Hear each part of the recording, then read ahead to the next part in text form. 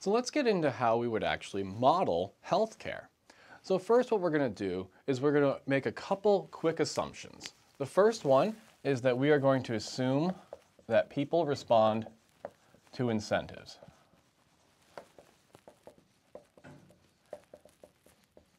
Okay? Now, incentives are a hallmark in economics. They're basically costs and benefits. If the cost of something goes up, you're going to do less of that thing. If the benefit of that thing goes up, then you're going to want to do more of it, right? Incentives are basically the rules of the game, or they are what helps us determine our behavior. As economists like to say, incentives matter. We saw this in the concept of insurance.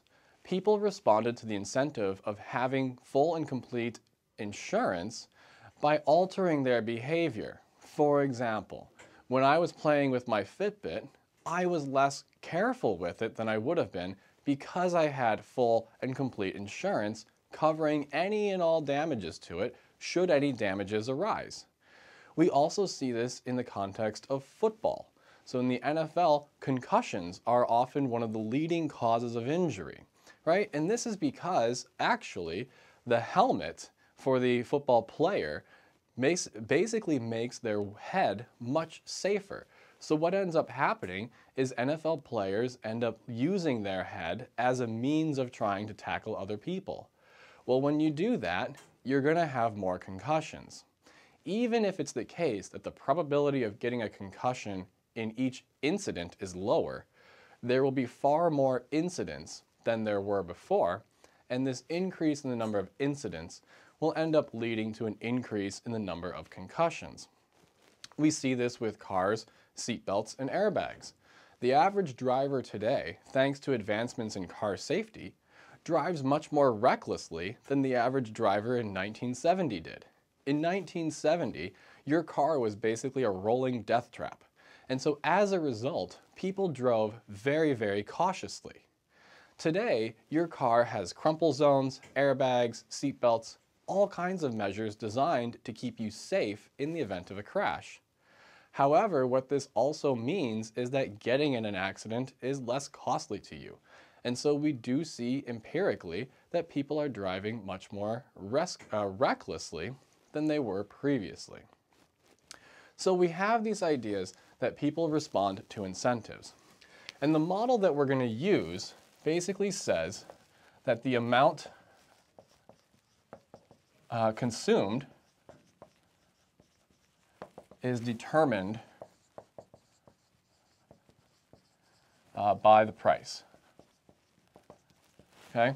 Now, many people will say that prices should not be used for healthcare, that everyone should have unlimited access to whatever resources or healthcare needs they have. Maybe that's true, but we can also say that we don't live in that world today, and we have to respond to prices.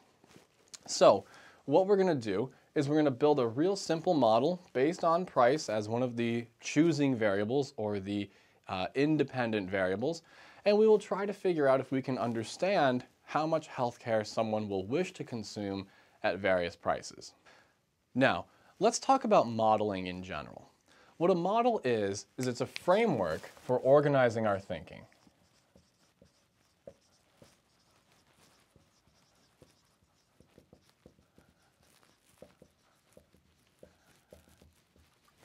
Basically, a model allows us to take abstract facts about the world and put them together in a coherent way such that we can analyze and make predictions. Now, one thing that's often brought up in the context of modeling is that they are simplifications.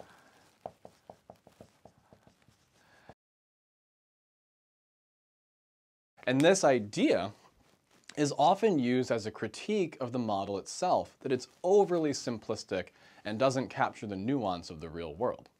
Well, the purpose of a model is to take the world that is infinitely complex, especially in a context where we're dealing with people who have thoughts, feelings, hopes, dreams, and emotions, and boil it down to as simple a thing as we possibly can. So the true mark of a model is not in how simplifying it is, but rather in the predictions and analyses that it generates. Okay? So the goal of any model is to simplify the world as much as it can be without making it too simple so that we can make reliable predictions and conduct actual analyses to understand what's going on. If the model incorporated quite literally everything, there'd be no hope that we could ever analyze anything because we'd be bogged down in far too many details to actually go through and understand anything. So the true mark of a good model doesn't mean that it has realistic assumptions about the world. It doesn't mean that it inc incorporates everything that we could possibly want to know. The true mark is whether or not the predictions it makes are accurate and the analyses that it, it allows us to do are coherent. If those two things are true, then the model is actually a good model.